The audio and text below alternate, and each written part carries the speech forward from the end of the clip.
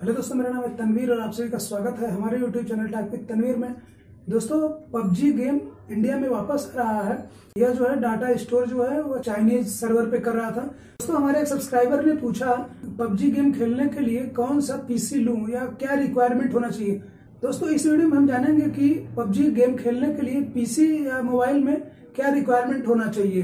तो सबसे पहले ये जान लीजिए कि पबजी मोबाइल जो है, जो भी पबजी मोबाइल सबसे पहले जो बना था वह पीसी के लिए ही बना था। बाद में इसका एंड्रॉइड वर्जन आईओएस वर्जन बाद में लॉन्च किया गया। आपके मोबाइल फ़ोन अगर आप एंड्रॉइड यूज़ कर रहे हैं तो आपका एंड्रॉइड फ़ोन 5.1 से अधिक वर्जन का होना चाहिए। इसके अलावा फ़ोन का रैम जो होना चाहिए, वह दो जीबी होना चाहिए। और बात आती है स्पेस की, क्योंकि और स्पेस कम से कम 1.5 जीबी से अधिक होना चाहिए। तो अब हम चलिए जान लेते हैं कि पीसी के बारे में कि कौन सी पीसी या पीसी के लिए क्या रिक्वायरमेंट होना चाहिए, तब जाके हम पबजी गेम खेल सकते हैं। चलिए दोस्तों, अब हम जानते हैं कि अगर आप कंप्यूटर या लैपटॉप दोनों में से किसी एक पे खेलना चाहें तो आप पबजी गेम को खेलने के लिए क्या रिक्वायरमेंट होना चाहिए?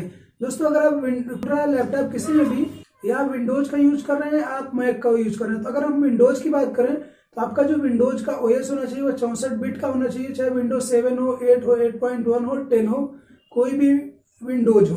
दोस्तों, अगर बात रैम की की जाए तो रैम कम से कम आठ से छह से आठ जीबी तक रैम होना चाहिए।